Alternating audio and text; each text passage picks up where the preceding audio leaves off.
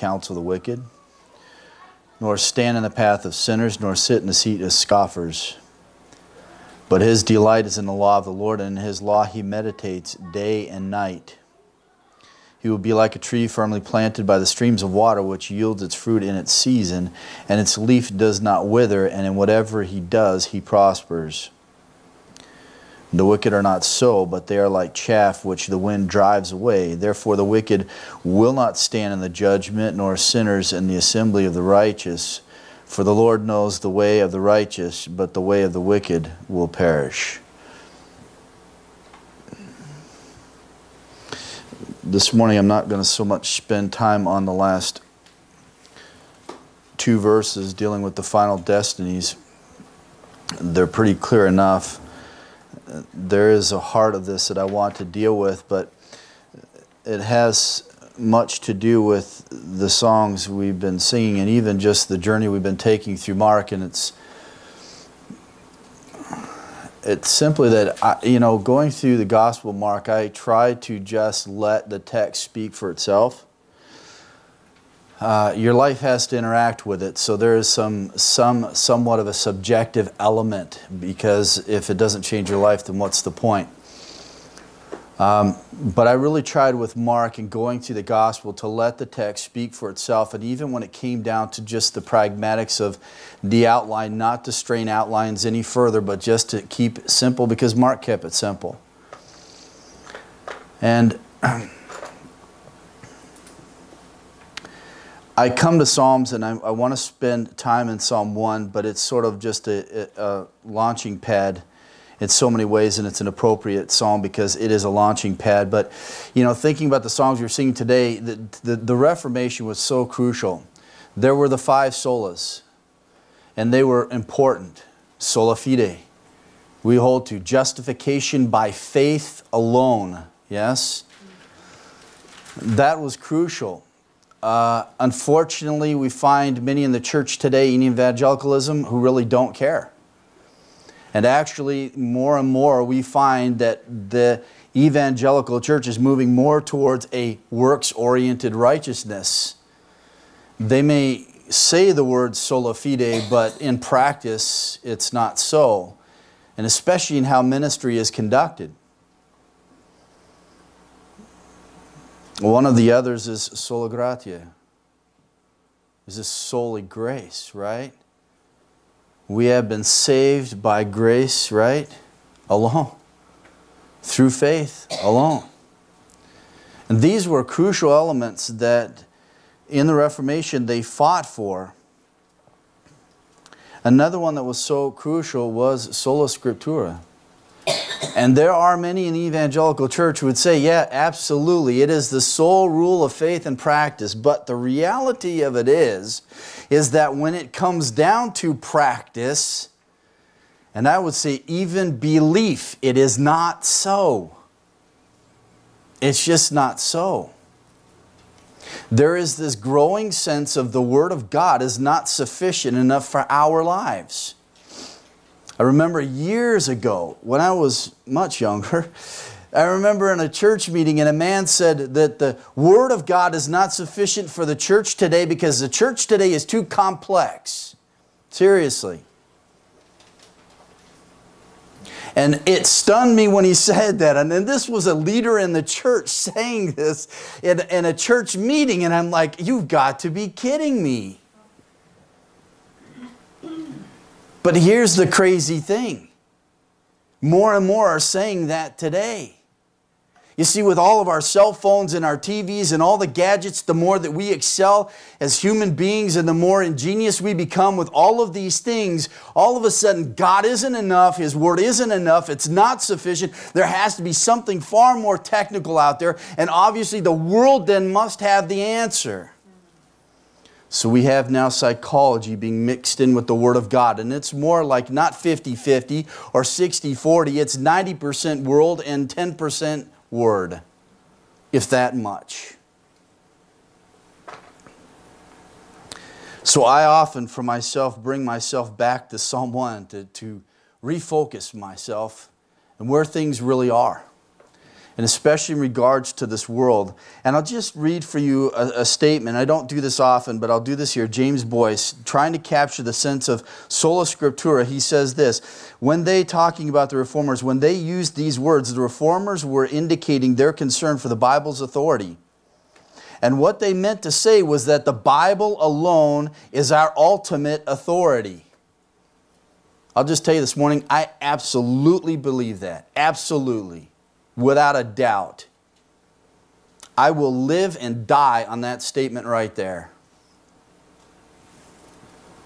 Not the Pope, not the church, not the traditions of the church or the church councils, still less personal intimations or subjective feelings. that is rampant today. It's more of how we feel and less upon what the Word of God says. All of these things, but Scripture only for them. These things, uh, these other sources of authority are sometimes useful and may at times have place, but Scripture alone is ultimate. Therefore, if any of these other authorities differ from Scripture, they are to be subjected by the Bible and rejected rather than it being the other way around. So I've always said, and I will say, and I will raise my kids to understand this truth you read everything in light of Scripture, not Scripture in light of everything else. I believe Genesis 1. And if scientists say anything that contradicts that or undermines that, and I reject every word that they say, I believe that. I will live by that. I believe in the sufficiency of the Word of God, and I take you to Psalm 1 to talk about the Word of God because there is a need for us to be discriminating. Uh, we don't like the use of that word, especially today. Discrimination is not a good term. It's a good term for us as believers. I was in a discussion with a Jehovah's Witness and he was telling me, You're closed minded. I said, No, I'm discerning and discriminating. Difference, huge difference. That means I'm not going to drink everything that you give to me. We need to be discriminating in our life. Here's what happens sometimes, and I believe Satan is behind it. The demons are behind it. We have doctrines of demons. We know the influence is there. Oftentimes, Satan will give a little bit of truth and a whole bunch of hogwash. He'll give us a little bit of truth so that we will buy that truth, but we'll take everything else along with it. And oftentimes, we're too lazy to be discerning to take that truth and push all the falsehood to the side. The other thing that he likes to do is give us a bunch of hogwash with a little bit of truth. You say, well, you're saying the same thing. No, not really. Because what he'll do is he'll give us the hogwash. He'll make it so clear it's hogwash that we'll take that hogwash and cast it aside, but what we'll do is we'll cast that truth right alongside of it. He is very deceptive, he is very scheming, he is very manipulating, and we have to be discerning in life. And the thing I like about Psalms 1 is it just gets down to the basics. There are two paths, and there are two kinds of people, and there are two destinies. Not yet. That's it. That's all. And I love that about Psalms 1 because it really then narrows life down. I don't like complexity. There are so many roads and options. You know, when we get on the freeway and we're going down to Southern California, I know you get on the five and you drive till you get there. Right? Whatever you do, don't get off in Sacramento because they do not want any people passing by coming through. But you just get on the five and drive. It's the great thing about it. But see, the reality of it is there's a whole lot of exits, there's a whole lot of turnoffs, there's a whole lot of vistas, a lot of points where you can stop and take a view and look around. There's a lot of places in which all of a sudden you can get off track, and it's the same with life. And Psalms 1 is a great way of bringing us back to look, there is a polarity in life. There are just two ways, there are two destinies, there are two kinds of people. Which one are you? And you always have to remember this because it helps us to be discriminating and notice the discrimination that runs through here. We have the discriminating way of the godly, verses 1 through 2, and then we have the discriminating way of God, verse 6. For the Lord knows the way of the righteous. Why does he know the way of the righteous? Because they're walking in his way. But the way of the wicked will perish. God is discriminating. Therefore, we must be discriminating. And, and God is going to evaluate and judge everyone in the end. We know this fact. So we better be discriminating in this life. We need to disassociate from the wicked and we need to associate with God more. We got to spend less time listening to the world and more time listening to God. Why do we go to the world to diagnose and give us the solution to our problems when God says, I've got it all right here? Right here.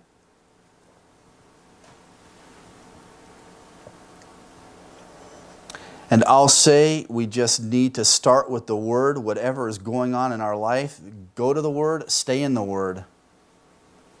And I'm not talking about that there are not other issues out there. I'm just telling you the great thing about Psalms 1 is it just narrows all of life down to two elements.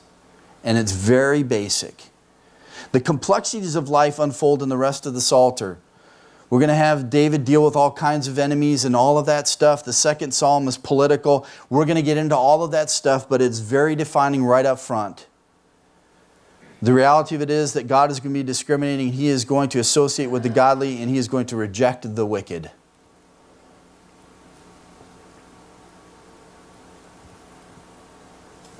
We need to be discriminating, but we, we can't be lazy to do that. One of the things I love re about reading Francis Schaeffer is because he can do that. He'll read and he'll deal with the things of the world. He'll find the truth. He'll hang on to the truth and cast everything else aside and say that's falsehood. We need to be able to do that. We need to do that always. Whatever we're watching, whatever we're reading, whether it's entertainment, our minds have to be working. That's usually when our mind shuts off. Usually we turn, by time day's done, I want to turn on the TV, I want to veg and watch a movie, and we just stop thinking. And that's when Satan just starts filling you up, filling you up, filling you up, filling you up. And we could just knee jerk reaction. Everyone just get rid of a TV and no one ever watch TV. No one ever listen to the radio and let's live in caves and forget all about the world. No, no. Just be discriminating. Be thoughtful, always thoughtful. And we'll see from this psalm, but the mind should never rest, not even in bed. Not even bed our mind must always be going on the things of God, always. So, if I could title this psalm, it is People, Paths, and Ultimate Destinations, and that is the bulk of what is being dealt with here. Man, I will watch the clock. We may not get to everything. All right, a little bit of introduction. I have to do this. This psalm contrasts the, the, the loves for the Torah and the ungodly and this psalm, by virtue of its vocabulary and the content of what we find in it, we classify this as a wisdom psalm, and there are many of such psalms in the Psalter. I, I love the Psalter. I, I was going to do this, but I, I, realized, man, I got too many slides. So I was going to go through the Psalter, but actually, if you look at the Psalter, it's made up of five books. Each book has a doxology at the end. The last one, the fifth one, has a series of doxologies. It's an amazing work. I wish more people who led worship spend more time in Psalms. They'd learn a lot about worship and a lot about exalting the name of God. But every one of these psalters ends with this great doxology Amen and Amen. It's like this hearty approval of everything we just sang from all of these psalms all the way through here. But this is a wisdom psalm. The terms that are used and the teaching that it gives is very much like wisdom literature. And, and Psalms are often classified this way. It's very much like Proverbs. And this particular psalm establishes the polarity of persons and destinies. And this is the great thing about Proverbs, right? I mean, I love that with the kids. We spent so many years going through Proverbs, and I still do that. And I give them these proverbs that make them think. You know, that's the great. Proverbs does two things for us it gives us moral skillfulness and mental acumen it helps us to think. You want to get your kids' minds working? Give them some Proverbs. There are some serious riddles in there. I gave one to Ian last Sunday. Chapter 24, verses 10 through 12. There's a common link of all three of those Proverbs, and it's a pretty amazing truths. But you make them think. And this is a great thing about this psalm because it is so basic, but it is complex. I mean, the structure's everywhere. But it divides humanity and it separates them ethically, first of all. All people are divided ethically, and then all people are separated judicially we have the picture of the godly, then the picture of the ungodly. And, and, great pictures were given the godly, the tree, the ungodly, the chaff. I mean, what more do you got to say about that? Then you have the failure of ungodly people, and then the fruition of godly and ungodly lifestyles, verse 6, as it's brought to this culmination. It divides all of humanity into two parts there are the fools and the wise, there are the righteous, there are the wicked. It's all of life. You see, all of life, wherever I go, I know this basic truth there's truth and there's lie. I need to discern the truth and I need to reject the lies. How do I discern the truth? Right here. right here. I don't need to know more of the lies so that I can say that's a lie. I just need to know the truth. Yes? And then everything else it falls by the wayside when it comes up to the truth. The problem is, if we're not in this enough, we're not delighting in this and loving this and in this and living in it and thinking it and breathing it and meditating it constantly, then we have nothing to weigh everything else by. Well, then we drink it all in and think it's all true. But it's not. The structure of the psalm is distinctively poetical. There's so much parallelism that runs through here, and I won't get exhaustive with all of this. There are chiastic structures that run through here. The simple structure is this the permanence, the, the permanence of the righteous, the firmly planted tree, the impermanence, like the chaff, the wicked, and then the contrast of the righteous and wicked in verse 6. It gets even more complex as you walk through it and you start to see the chiastic structures. There's a final one in verse 6 that you have the verb with the participle, verbal noun, then you have the verb imperfect, and there's antithetical parallelisms. You have the two ways and then adjectives that describe them the way of the righteous, the way of the wicked. And verse 1 by itself has its own beautiful symmetry. I mean, I could just spend forever le lecturing on the beauty of this particular psalm. I spent so many years studying this psalm, but it's amazing how it is laid out for us. Do not walk, do not stand, do not sit. And then a nice parallelism we have in the counsel of the wicked, in the way of sinners, and in the seat of scoffers. And we'll walk through these details. Overall, this is how I put the psalm, and it's in a chiastic structure. The way of the blessedness, present condition, the way of the perishing, future destiny. Steadfastness in the Lord's law, standing, no standing in the Lord's judgment, the permanent tree and the impermanent chaff. The amazing thing is how this begins and ends. It begins with the blessedness, Ashrei, and it ends with Toved, perishing.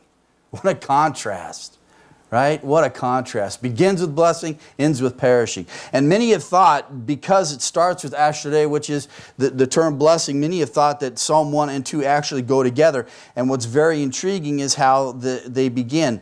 We have verse 1 of uh, Psalm 1, how blessed, and notice verse 12 of Psalm 2, how blessed are all who take refuge in him. Sort of forms an inclusio. And there are other points of connection, and I'll leave those for you to discover on your own. That's just a little breadcrumb. But the contrast that is here is staggering, it's very stark. And that's the starkness between truth and lie. Yes? It's just not gray. Why in the I just okay, I'm gonna go there, but I, I wasn't gonna do it, I'm gonna do it anyway. Why in the world, when we discuss the issue of truth and we talk about evolution and creationism, why do we fall into where the world wants us to go? It's like there's sort of this nether place we can stand and defend that truth from there and then reason back to the Word of God. Here's the problem. If I know evolution is a lie and Romans 1 says it's a lie and the world is bought into the lie, okay? If it is the lie, all right, then it is not truth. Amen? And truth is absolute, it cannot change. You can suppress the truth. I can reject the truth. I can turn my back on it all I want to. I can exchange the truth for life, but I cannot change truth. It is absolute. If I have a building and I look at that building, I can close my eyes to the reality of that building. I can turn my back on it. I can look at that building and say it's a cow. But the truth is, it is a building and I can never change that fact. If that is true, then that which is false and that which is a lie is opposite truth. But here's the reality it it doesn't matter how much proof or evidence you give to that lie, you cannot change it and make it true. So, why do I act like evolution is just another variant idea? It's not. There is truth, there is lie. There's not even a discussion, folks. I should never even debate an unbeliever as though there is another option. Because no matter what proof they give, it's a lie. You can't change it and make it true. But see, we keep handing this stuff over to the world thinking we're trying to reach the lost. Let's accommodate. No, no. We're handing away the one thing, the only thing that can save them, and that is the Word of God, the truth. That's my soapbox, sorry. Psalm 1. So here we are, the reality of the Word of God in the midst of all of this. The blessedness. Ah, oh, I love this. So, the blessedness. This is how it begins. and, and we have how blessed. And I'm just sorry, but the translation is just blah. Okay? Because, first of all, this is plural in the Hebrew. This is an intensification of it. Oh, Uh, put it this way oh, the blessednesses of the man. Not only that, but we have anacrusis along top of this, and then we have a double metheg. And you go, what's that? Without getting into all the elements, all right, uh, uh, of Hebrew and all of this stuff, okay? So metheg is a part of the accent system, and, and there's unique accents to the wisdom literature and to the Psalms. The Masoretes developed it to preserve the purity of the reading of the word and the understanding of it. Now, this is an unusual construction to have a double metheg, and it's just a vertical line that goes like this. And normally it's on the second and fourth syllables, but they're put back to back and next to the tone syllable, but this is a different. This is a variant. This is something unique. In other words, we are supposed to read this as exceptional. So you have the double form, the blessednesses of the man. Then you have the double metheg, which actually in Hebrew metheg means bridle, which the reader's supposed to pause. So there's a double pause. Not only that, but you have an aleph with a glottal stop, which is also a pause. So you have this threefold pause. In other words, the, the writer of this wants us to say, stop, look at this. This is amazing! Exclamation point, exclamation, exclamation point. How blessedness is of the man who does not do this, but does this. It gets our attention. It says, This is who you want to be. This is where you want to be. This is what you want to experience. You want to be this kind of man. This is what's amazing about this psalm. It is the gatekeeper to the Psalter. It sets us on a pathway that we must maintain all the way to the end and finally get to the final psalm. And it's just an all out hallelujah of all of creation praising God. And that's what we're looking for. Yes, the final day when we all praise God together and forget this place but this gets us started. Oh, the blessednesses uh, of the man. And I want you to stop.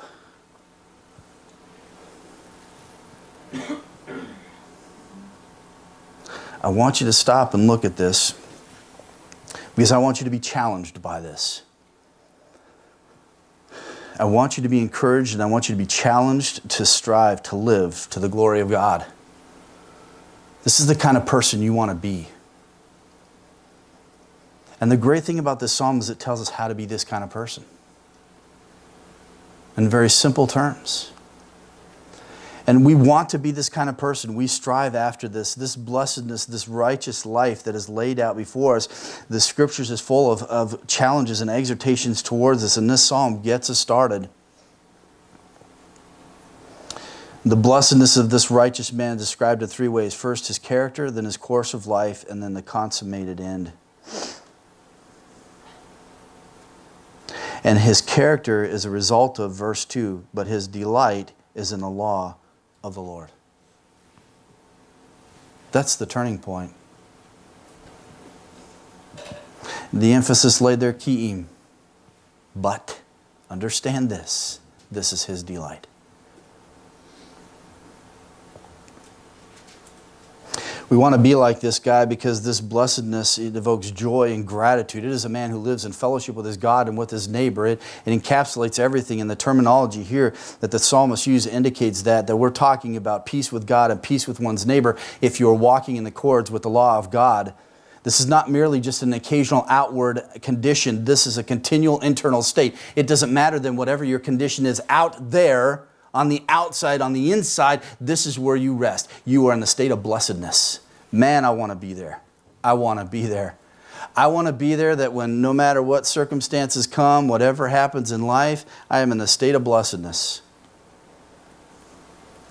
I took my kids to Romans 5 recently to help them understand the peace of God. And there's a difference. There's peace with God, and then there's the peace of God. Romans 5 talks about peace with God. We were sinners, we were enemies, we were haters of God, yes? And then he says, But you have been reconciled. You have peace with God. That is an objective standing. That's not the personal subjective feeling. That is the objective standing. Man, if you understand that standing, then so many other things fall into line. But you got to understand that state of peacefulness that you have with God because of reconciliation. This is a state of blessedness. And it's not ruffled by anything that comes on the outside. The way of blessedness, the present condition, and notice the, the escalation that comes. And he starts off with describing the blessed man's life, the righteous man's life. How blessed is the man, verse 1, how blessed is the man who does not walk in the counsel of the wicked, nor stand in the path of sinners, nor sit in the seat of scoffers. There is this movement, and it's a downward movement. Does not walk in the counsel of the wicked, does not stand in the way of sinners, and does not sit in the seat of scoffers. Several elements that are laid out here, very simply, but very clearly. First, we have three degrees of habit. We have walking, we have standing, and we have sitting. It's progression in sin.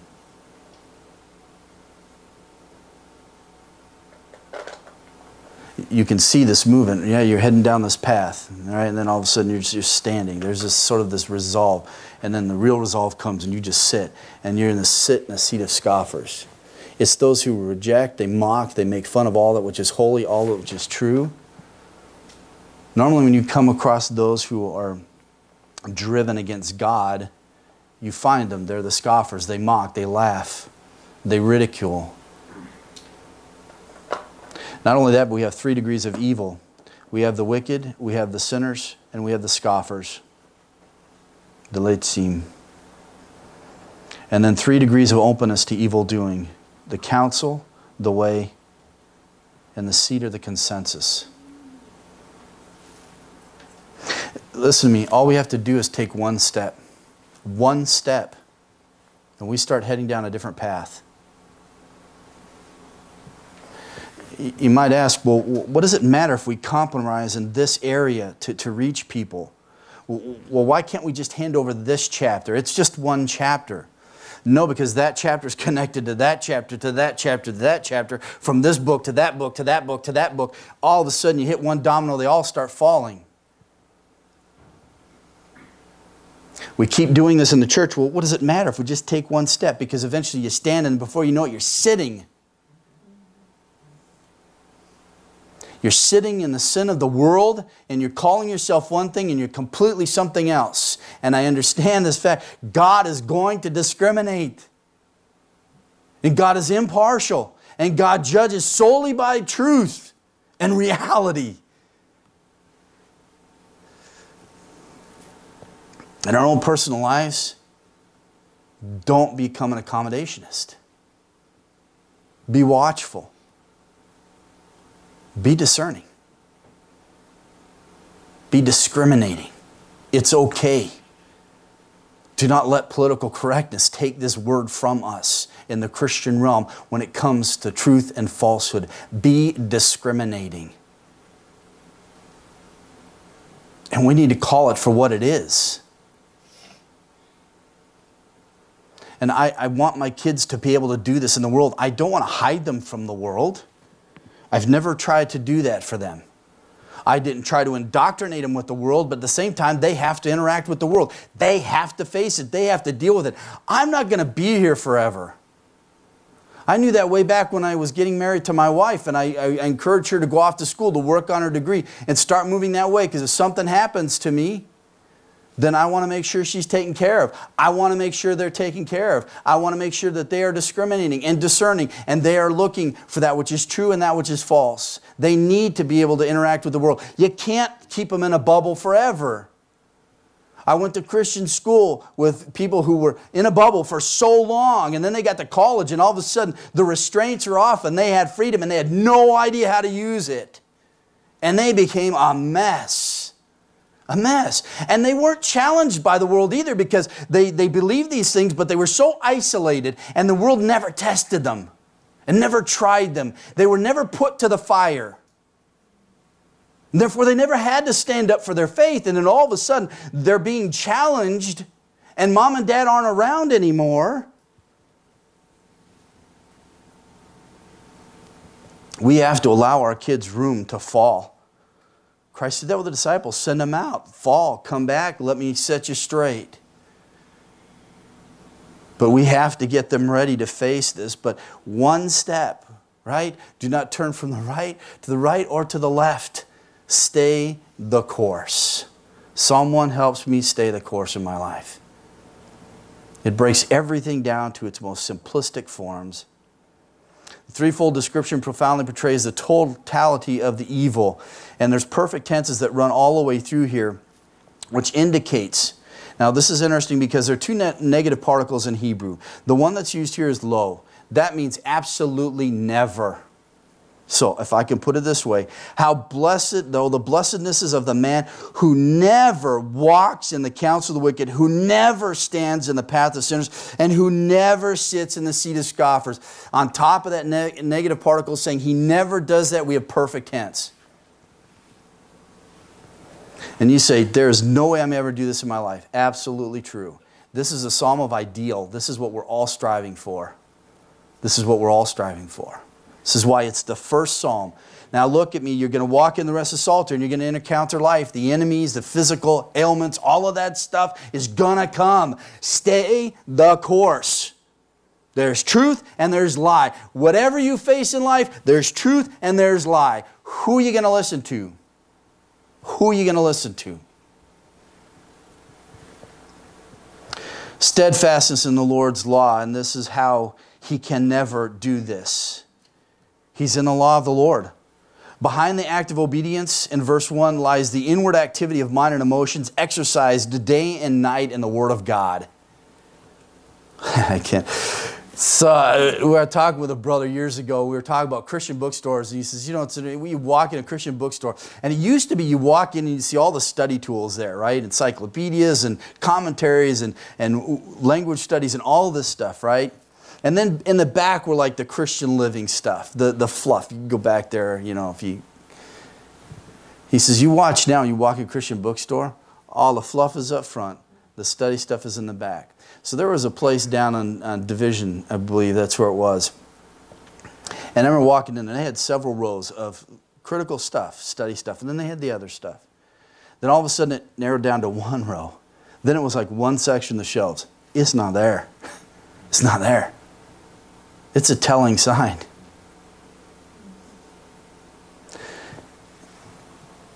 And I, am walking through this bookstore, and I'm walking through this section, the men's section, right? And, I, and I'm looking at the books that people want to read, I guess. And here's the book, The Five Minute Spiritual Workout for the Man of God. Really? Can you call him a man of God with five minutes a day? I don't think so.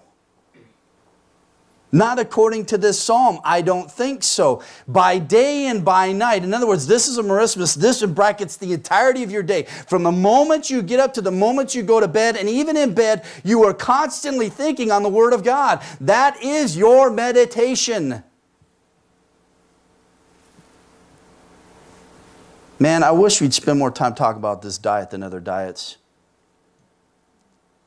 My life, I need to be in the Word of God.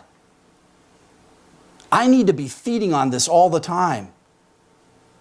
It sets right perspective than when I'm dealing with all the other things that come in life. And we know we have all those other things that come the political, the physical, the family, the everything, the community, all of that stuff, work, all that stuff comes in the Psalter. But I must be set on the right course. If I'm going to go out and face all of that stuff, I have to have myself in the right place. It means I have to be in the Word of God. The psalmist says it is his delight. This term delight means to take pleasure and to delight in, to be inclined to. It is one's inner disposition, their heart driven towards this and compelled towards this. This is one's passion, set in striking contrast to what has preceded it. He doesn't do these things because this is his delight. And what is the object of the delight? It is the law of the Lord. It is that revelation that God has given us to help man to understand how to live in harmony with his will. It is that delight, it is that desire of him, it is that passion that he has. It is God's revealed will to us. There's no question work in this how much, so many times we spend in our life trying to figure out, brothers and sisters, and I do this. We sit there going, what? I wonder what the will of God is for my life. I got to start with the written one first. Because I'll tell you what, oftentimes we look at circumstances and think, oh, God's leading me in this way. But if I read this, I realize, no, that's not Him leading. that's something else working there, and it's not the Lord. I've had brothers come to me in the past dealing with jobs and they're discontent with their job and they say, you know what? I think the Lord's telling me to leave. I said, I'm not going to tell you what to do, but is that the Lord telling you or is that your discontentedness telling you? It's a difference, isn't it? There's a difference. And I'm not saying these things because I don't wrestle with these things. And I tell you, this is why I keep coming back to this psalm to get my mind straight because I get distracted. I try to find elements and, and solutions to problems and everything else everywhere else but here. In desperation, we start groping. But see, if we set the course and we keep reminding ourselves of that course, right? We just keep coming back to this. Simplifies everything. All the distractions aside, all the difficulties aside, all the things of the world aside. And I have to do this as Psalm 2, man, politics, don't even get me started. I have to just bring myself back to here. Just starts with here. Do I delight in the law of the Lord? Is it my passion? Do I have a hunger for it? Do I thirst for it? Is this the one place I would rather be than all other places? I mean, if you laid 50 books out in front of me, is this the first one I'm going to pick up? If I have a choice between this or the TV or the radio, is this the first thing I'm going to pick up? Is it that thing that just consumes me? I can never lay it down? psalmist says, No, I meditate on imperfect tense. I am continuously pondering, moaning over, musing over. I'm meditating on these things, thinking them over and over. I like to describe this term in Hebrew. I like to describe this term as like a cow chewing its cud. This is what we do with the Word of God, right? You, you chew on it for a while, you swallow it down, first stomach, a little digestion goes on, back up again, right? And You chew on it for a while, it goes down, second stomach, back up. This is what meditation is. And this week, I had three things going on in my mind Wednesday night, Saturday afternoon, Sunday morning. Three different, all total different areas. Everything's going. Just constantly thinking, constantly pondering talking to yourself. You ever talk to yourself, the Word of God? You ever just muse over a passage, talk it over in your mind, and then you start saying it audibly? Then my kids, hear them talking in the bathroom all the time. Who are you talking to? Imaginary friends? Do you ever just sit there and talk through a passage? Do you ever talk through a theological concept, a doctrine? There's so many things that are vying for our attention in life this has to be priority. Because all the others are just going to become complete distractions that will take us off on the wrong path. All of a sudden, you, we'll realize we're not on the 5 freeway anymore. We're on some back roads and GPS is not working, and I don't know where I'm at. Meditation is characterized as a deep reflective thought, often recurring in repetitive, enduring fashion. This is why it's linked with phrases like day and night, during the watches of the night. Meditation is not setting apart a special time for personal devotion. This is something different. This is whether morning or evening, it is the reflection on the Word of God in the course of daily activities. You are constantly thinking. This is a great thing about the Word of God. When you memorize, you can take it wherever you go, and then you can think on it. My wife, I, she asked me years ago, What do I do when I study the Bible? I said, You read through a book from beginning to end, several times in one sitting.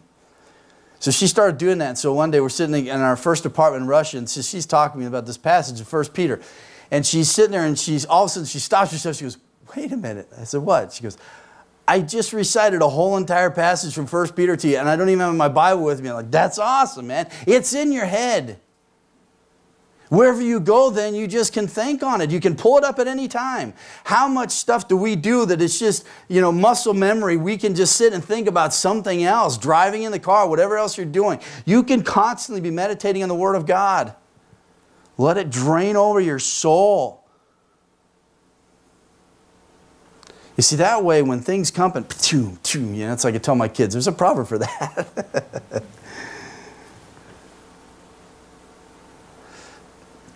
Regardless of the time of the day or the context, the godly respond to life in accordance with God's word. We do this because it's in us. Meditation is the act of the righteous that focus on the law, the Lord Himself, and the works and deeds of the Lord. Notice these passages Psalm 63 6. When I remember you on my bed, I meditate on you in the night watches. How many of us do that? How many, how many of us stay awake at night laying in bed just thinking about God? I meditate on you. How many sleepless nights have we had meditating on God? How many sleepless nights have we had meditating on the bills that aren't going to get paid? See the difference?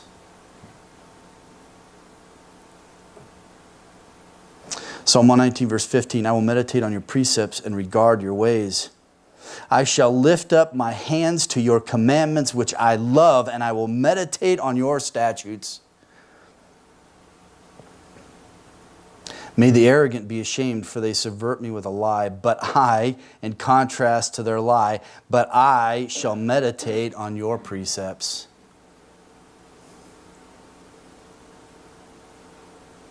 It's that constant digestion, but it's that thing that you delight in. It is that thing that you have a passion for.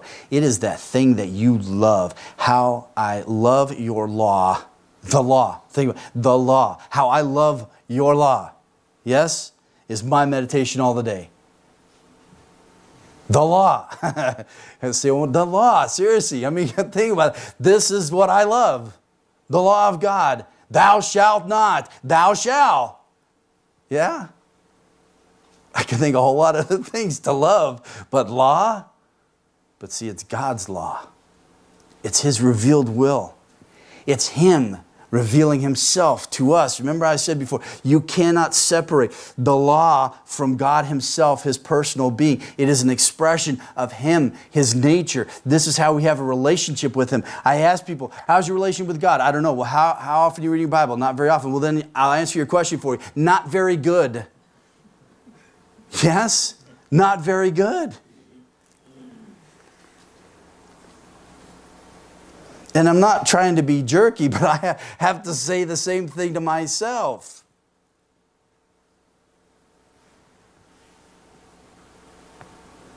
I love your law. It is my meditation all the day. All the day. There's so many things that preoccupy our minds.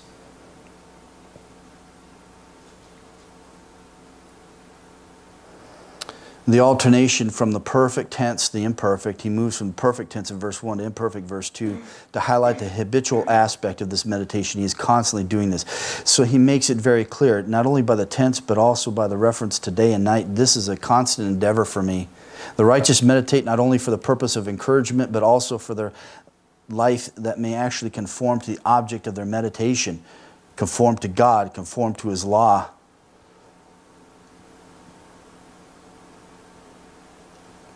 There are so many times that the Word of God can bring such enrichment to our lives. I remind myself of this passage so often, and I read through this psalm. Psalm 119, verse 25 and following. My soul cleaves to the dust. I'm just telling you, you can't get any lower than that. My soul cleaves to the dust. Revive me according to what? According to your word. I have told of my ways, and you have answered me. Teach me your statutes. Make me understand the way of your precepts. So I will meditate on your wonders. My soul weeps because of grief. Strengthen me according to what? According to your word. Remove the false way from me and graciously grant me your law. I have chosen the faithful way. I have placed your ordinances before me. I cling to your testimonies. O Lord, do not put me to shame I shall run the way of your commandments, for you will enlarge my heart.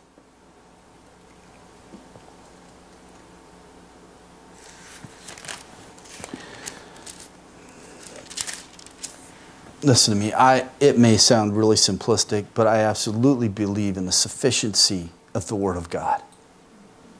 I just do. And listen to me, when, when dealing with people in the world, I got nothing else to offer you. I just don't. I'm an idiot. I'm not very smart. I don't have a whole lot of ingenuity. If I can give you anything in life to help you out of anything, it is solely this. Is this. It's all I got. So when people come to counseling and, and they ask me, well, give me something, I go straight to the Word. I did, that's where I have to go. And then they say, Well, I don't want that. Well, I'm sorry, then I've got nothing left to say. I'm sorry. That's all I got.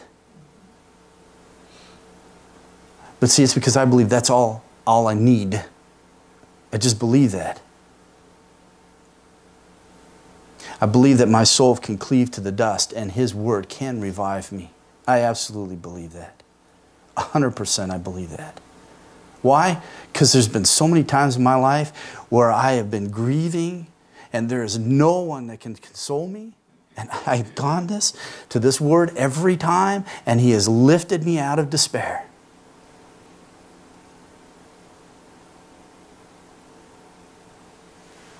And I know it can do the same for you.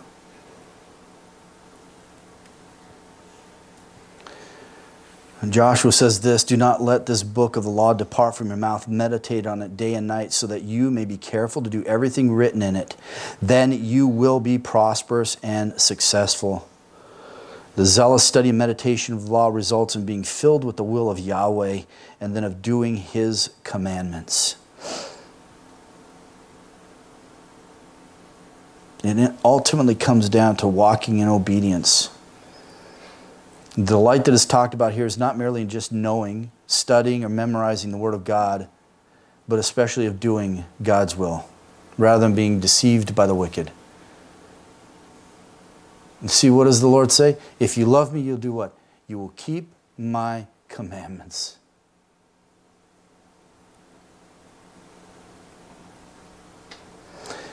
We're going through Colossians, bracketing the statement so that you will walk in a manner pleasing, uh, worthy of the Lord, pleasing Him in everything, everything. What brackets that is two statements on knowing, knowing His will. It's the only way I can please Him. I realized that on the mission trip in, in England and, and surrounded by a bunch of strangers. I didn't really know anybody. And here I am in a foreign land and foreign churches we're visiting. And and here I am with a group of people I'm serving with, and I, I, don't know them that well. And I just, all of a sudden, man, I just had this realization I've got God and His Word. And I've never forgot that moment of what it did to my soul. To realize that wherever I go in this world, I could be surrounded by a million strangers, but so long as I have this, I'm good. I'm good. Psalm 119 says, I am a pilgrim in the earth. Please do not take your commandments from me. This is my constant prayer to God. I am a pilgrim in this place. Please don't take this from me. Because without I got nothing. Got nothing. I got no direction. I've got no counselors. I've got no vision. I've got no understanding. I have no knowledge. I have no hope. I have no truth.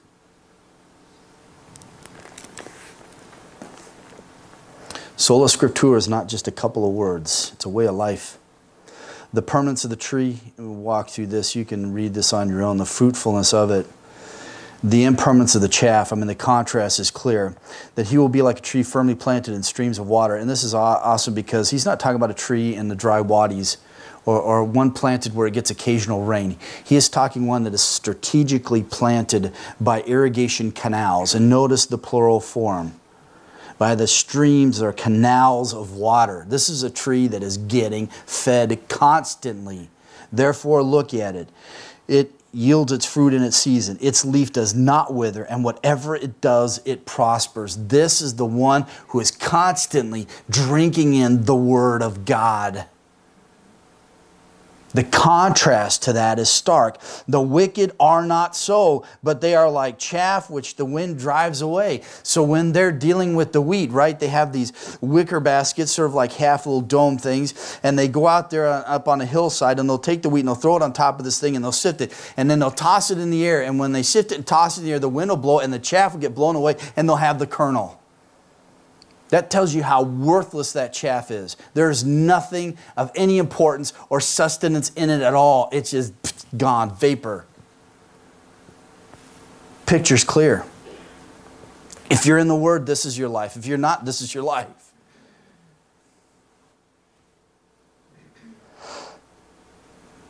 And how different the course and the end of their life. The brevity of the wicked's description stands in stark contrast to the fuller portrayal of the righteous, a tree with leaves and fruit, brings edification to others. The futility of life that yields nothing more than substantial than useless remains scattered. The metaphor not only reveals the uselessness of the wicked, but also the ease with which God will deal with them. He is a discriminating God. There will be no standing then in the place of the righteous. And the contrast is clear. In the way of the perishing, their future destiny, they will not be in the presence of the Lord.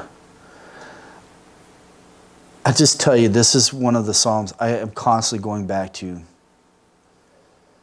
And I would suggest to do the same for yours if in your life you are starting to lose perspective.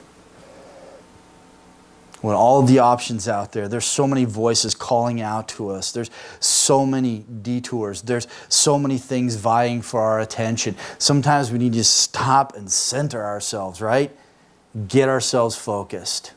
I always come back to this psalm because it sets me on the course right and it sets the things that are of utmost importance in life. A relationship with God, and that comes through His Word. I must delight it. I must have passion for it. I must love it, and I've got to be in it all the time. If I am, fruitful. If I'm not, not. It's that simple. And all of the complexity that goes on in our lives, it is that simple. May God help us as we seek to stay on course. Because in the end, we want to reach that final hallelujah. Yes? We want to be among all the righteous, and we want to be there at the end when all of creation is going to rejoice in the presence of God and worship Him. May God help us to stay the course. Let's pray.